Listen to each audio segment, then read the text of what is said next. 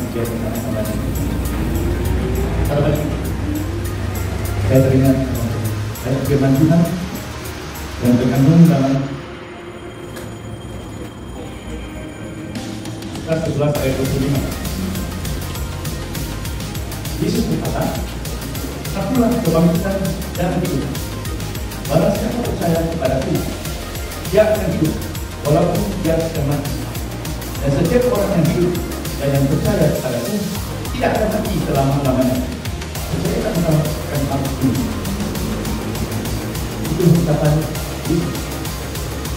Ketika dia bertemu dengan Maria dan berkata di situ, ingat Yesus berkata, Aku kebangkitan dan hidup.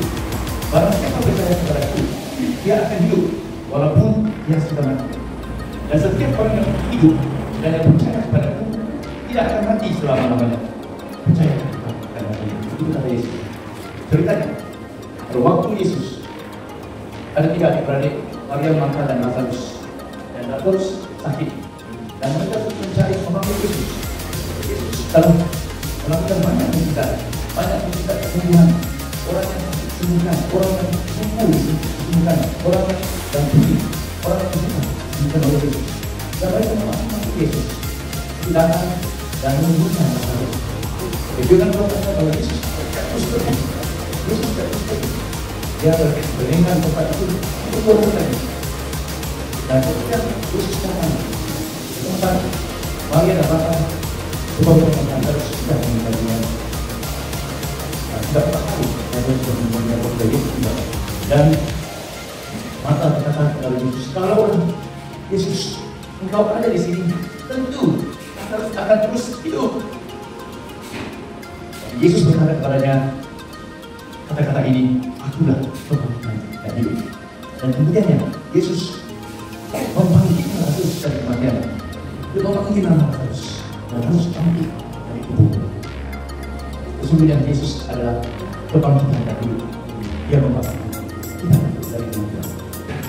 Yang benar dalam Alkitab tadi beberapa hadis Yesus membangkitkan orang yang sudah mati, orang anak, orang ibu dari telah dibangkitkan. Dan dalam sejarah manusia, dalam dalam model itu, itu bukan bagi orang yang sudah meninggal dunia telah dibangkitkan oleh Yesus.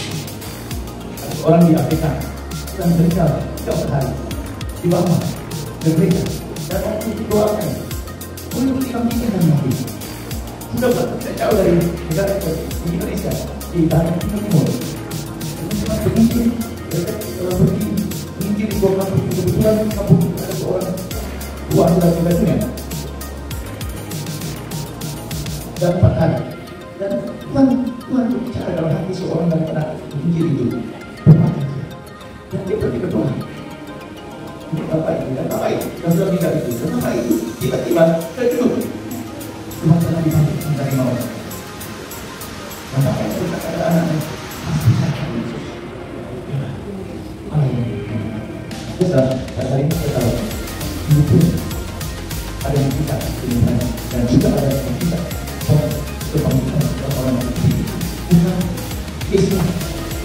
dalam metode kisahnya mungkin ada beberapa orang yang mengalami dari itu tapi itu banyak orang telah meninggal ya langsungkan kemudian ya pertanyaan ini bukan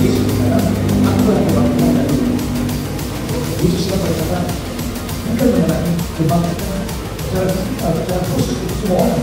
Walaupun kita kekuatan orang apa yang Yesus katakan diri tetap Yesus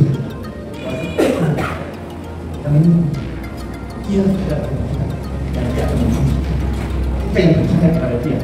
Untuk kita tahu itulah mujizat orang yang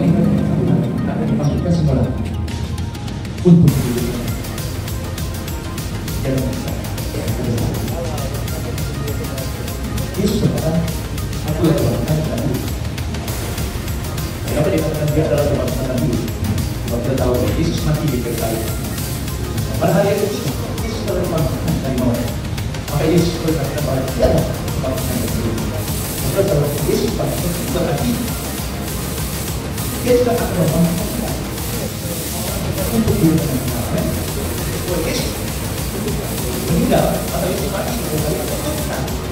Yesus mati untuk kita. Dia mati untuk menebus dosa manusia. Dia mengambil kita untuk bukan dosa supaya kita tidak akan mau lama-lama, tapi kita akan hidup dan selamat. Yesus mati untuk kita dan Dia juga bangkit untuk kita. Kalau manusia lain bangkit, kalau bangkit kan kalau Tuhan, dia bangkit untuk dirinya sendiri. Tapi waktu Yesus bangkit, dia mewakili kita untuk pengampunan dosa.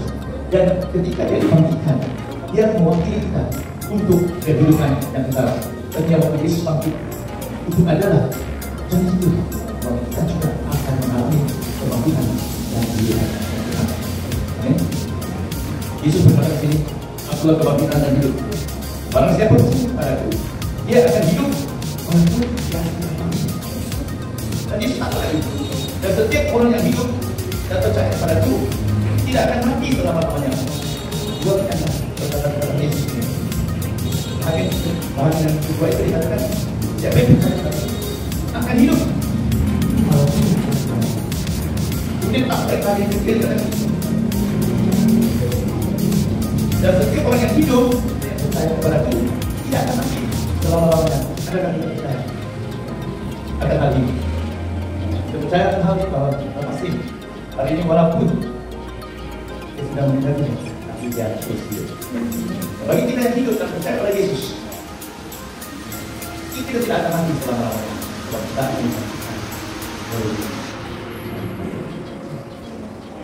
hari ini, semua Yesus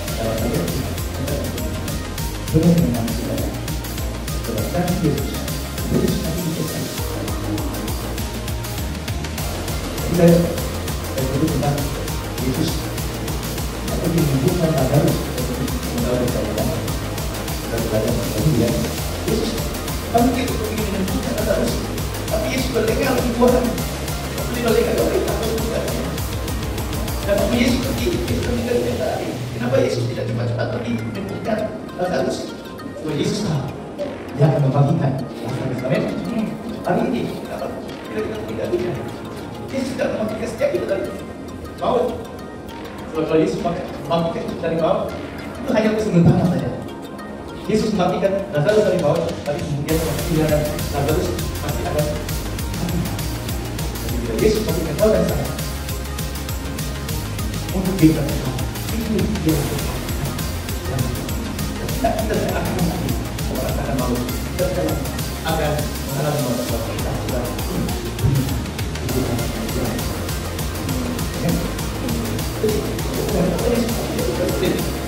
sudah Tuhan dan Kuasa boleh menyelamatkan Yesus dan. Bukan Tuhan boleh melindungi Yesus kapan tertulis dalam Yesus mati di kayu salib bukan kerana Tuhan tidak boleh menyelamatkan dia. Yesus mati di kayu salib sebab dia menyerahkan dirinya untuk menebuskan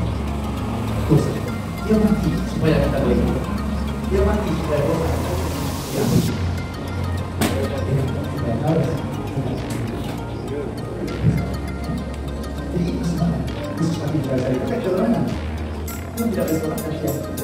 Dia datang untuk menanggung dosa. Dosa. Dosa. Pada percaya pada dia akan menerima seperti dalam firman Tuhan. Kalau dalam kisah ini, jangan sampai dari verse 13. Karena begitu besar kasih Allah akan dunia ini. Sehingga ia telah menghuniakan anaknya. Supaya setiap orang yang percaya kepadanya tidak binasa, melainkan beroleh yang mati berkali-kali bukan kerana ada orang lain. Yesus mati Yerusalem kerana yang pasti, kerana yang pasti.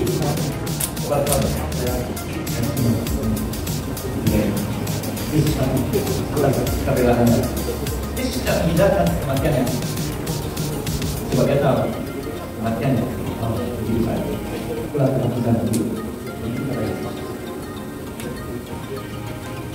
Hari ini kita datang kita seperti sebesar tetapi kita percaya hari ini ya para kakaknya dosanya sudah diampuni dan dia dalam hidup itu sendiri sudah mengatakan kepada kita yang ini. Bagaimana kita sepuluh. Ayat 18 kita berbukti apa yang saya katakan saya mengatakan di ini sudah dikatakan dalam ayat 10 16 dikatakan tidak seorang pun. Mengambil nyawaku dari batu. Melainkan aku memberikannya menurut kehendakku sendiri. Aku berkuasa memberikannya dan berkuasa mengambilnya kembali. Inilah tugas yang diterima daripada dalam itu aku berkuasa memberikan dan aku berkuasa untuk mengendalikan kembali. Dan ternyata itu terjadi Yesus dia menyerahkan dan waktu Yesus dibaktikan dia mendapatkan dan tidak dia berarti akan kita melakukan Gimana kita hari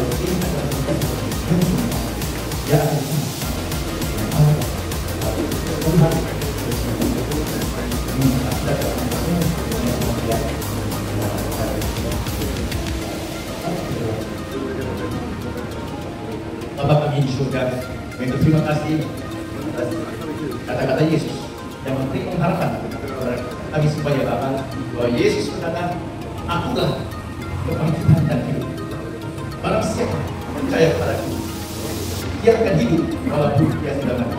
Dan setiap orang yang hidup dan yang percaya kepadaku tidak akan mati selama-lamanya.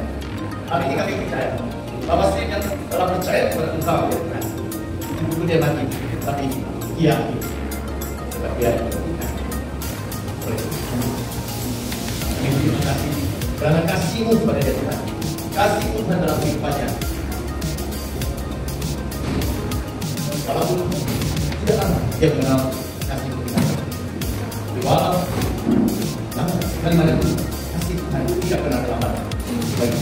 Dan hari ini dia sudah menerima dan dia tidak ada tidak ada. Terima kasih Bapak. Kami terima kasih Bapak.